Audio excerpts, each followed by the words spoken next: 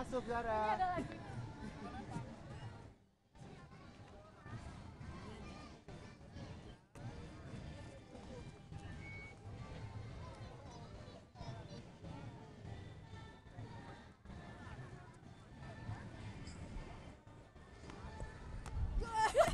Zara, lagi Zara. Balik lagi di News Pagi Super Sunday. Sunday. Zara, tadi itu namanya apa Zara? Itu namanya heading. Heading ya, jadi nyundul ke kiri, nyundul ke kanan. Nah, kalau begitu. tadi Kalau tadi itu cuma dribbling. dribbling ya, Iya. cara giring Dribbling. bola gitu ya. Oke, bola bolanya dioper lagi ke sini teman-teman. Kalau memang latihan hari-hari. Latihan itu apa aja sih? Latihan sehari-hari eh, tergantung banyak juga kadang fisik, kadang skill kayak gini, terus dribbling, terus juggling, terus ada shooting juga. Oke. Nah, kalau misalkan latihan fisiknya itu apa aja? Fisik itu biasanya step-step yang kayak gini, Ah. terus lari, sprint, lari, sprint. Itu ngos-ngosan juga sih. Oke, Zara dari umur 7 tahun sampai 16 tahun sekarang mengenal bola. Pernah ngalami cedera nggak Zara? Pernah. Pernah Apa? juga. Pernah. Apa pada saat itu? Di ankle, di lutut nih, lutut udah parah banget oh, ya ankle sebenarnya. lutut, Lutut biasa lah itu pemain bola ya Iya. kan, ankle lutut. Sama Asik. paha.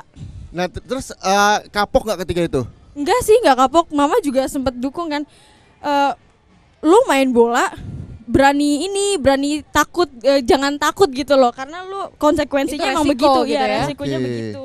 Nah. Jadi emang orang tua supportnya luar biasa sama Zara banget, ya. banget, banget parah. Banget banget. Nah, sampai saat ini mungkin bisa diceritain gitu ya, katanya umurnya 16 tahun, tapi udah kuliah, tapi main bola juga sampai ke luar negeri. Bisa cerita ini. Jadi Zara udah kuliah tuh karena waktu SD kecepetan. Terus Iya, SM Zara tuh kecepatan. Kenapa Ah. kecepatan pemirsa? Karena Zara ini SMP SMA akselerasi. Axel. Bener ya? Iya, ya. Axel. Tepuk tangan tuh prestasi Zara tidak hanya pintar di akademis, olahraga juga jago.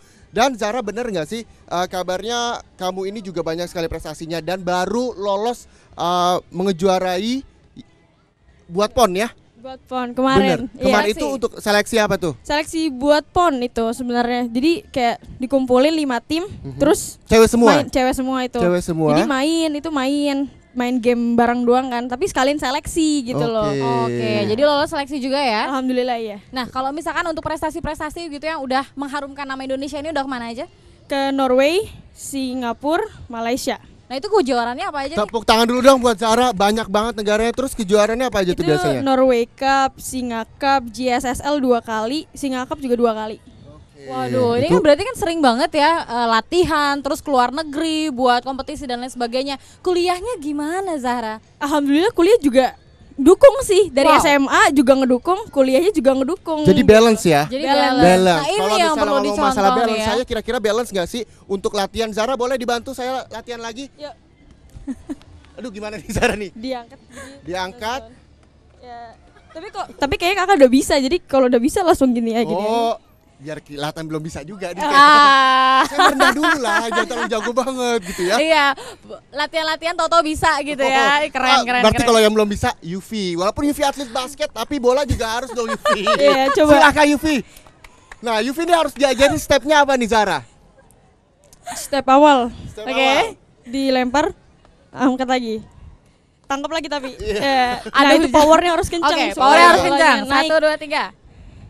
Nah, Oke. terus Nah, Nah, berarti, berarti biarlah. kidal nih kayaknya nih. Tidak, udah kelihatan tuh Zara ya. Udah kelihatan ya, Zara, gitu. boleh dong himbau buat pemirsa di rumah, buat kaum kaum wanita Indonesia supaya tetap semangat dan tidak takut ketika ingin bermain bola atau olahraga yang biasa dilakukan laki-laki.